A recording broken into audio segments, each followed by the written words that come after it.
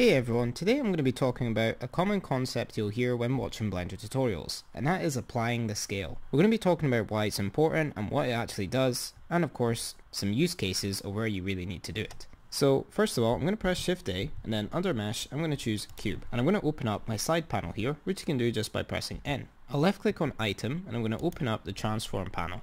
Here you can see that my scale is set to 1 by 1 by 1. Keep in mind, I'm in object mode here, I'm going to press S and then X to scale this object on the X axis. Notice how my scale here has changed. However, if I press tab to go into edit mode, press A to select everything, and then press S and then X and scale again, and then press tab to come back into object mode, you'll notice our scale hasn't changed, even though we have scaled up our object. This is because making edits in edit mode won't change the actual scale, which means technically, if you've done all of your edits in edit mode, you probably wouldn't need to apply the scale. But sometimes you always find yourself doing a little bit of editing in object mode, which is why applying the scale is important in the first place. Pretty much though, if your object always has the scale of 1, 1 and 1, that means your scale is applied, in which case you technically wouldn't need to apply the scale. For us though, since we've scaled our object in object mode, and our X scale is now 2.2 instead of 1, if we were to do any processes such as adding modifiers, UV unwrapping, doing procedural materials, sculpting, rigging and skinning and more, it's going to be important for us to apply the scale. To do this, I'm going to press Ctrl and then A,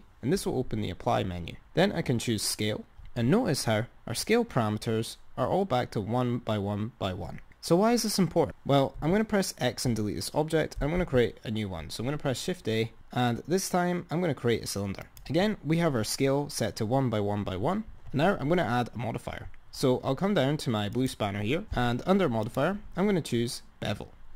You can see that our object is being beveled quite nicely. But if I press S and then Z to scale up my object, you'll notice how my bevel has been skewed, despite me not changing the amount here in the bevel modifier. This is again because we need to apply the scale, as modifiers won't always work properly with objects that don't have the scale applied. You can see my Z here is at 2.7 for scale. So I'm going to press Ctrl A to open the apply menu again and choose scale, and you can notice that instantly our bevel has gone back to how we would expect it. If I press X to delete this modifier, and press tab to go into edit mode and press 2 on the keyboard to make sure I'm in edge select mode, alt left click to select this top loop. I can use the bevel command with control B. You can notice right now it's beveling quite intuitively, but if I press tab to go into object mode again, press S and then Z to scale things down, press tab to go into edit mode again. I'm going to do the bottom one this time. I'll alt left click that loop there and press Ctrl B. You can notice it's not beveling very nicely. And as you might have guessed, this is just because we haven't applied scale. So I'll press Ctrl Z to undo that, press tab to go into object mode, and this time I'll press Ctrl A and then choose apply the scale first. Notice how my scale here in the side panel has been returned to 1 by 1 by 1 and press tab to go into edit mode again, press Ctrl B and now you can notice it's beveling much more normally.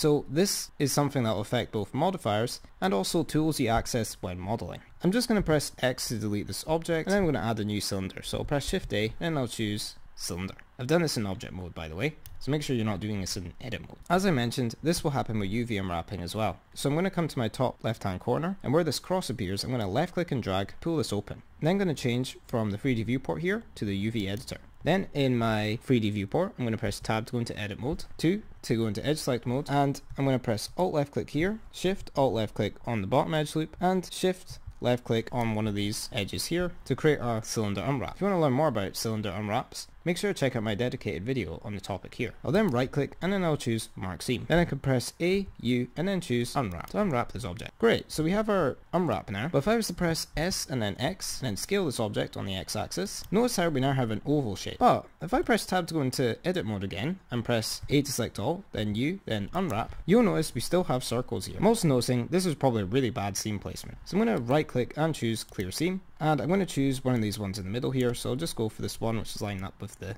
Y axis so I'll left click this one here and I'll right click and choose mark seam but still if I press A, U and unwrap you'll see it's still going to be circles here and we need ovals again this is just because we need to apply the scale so I'll press control and then A and then I'll choose scale and now when I press tab to go into edit mode again and press U and then unwrap you can see finally we have the ovals that we were looking for and yeah, that's a couple of examples of why it's important to apply the scale. This can also affect things such as sculpting, rigging and skinning. Skinning, by the way, is just weight painting. And when doing procedural materials as well. So pretty much, you want to always make sure your scale here is set to 1 by 1 by 1 for these processes. If you want to learn about more Blender tips like these, make sure to check out my extensive Blender Quick Tips playlist. which is having videos added to it several times a week. Apart from that though, I'd like to thank you so much for watching, and I'll see you guys in the next video. Take care.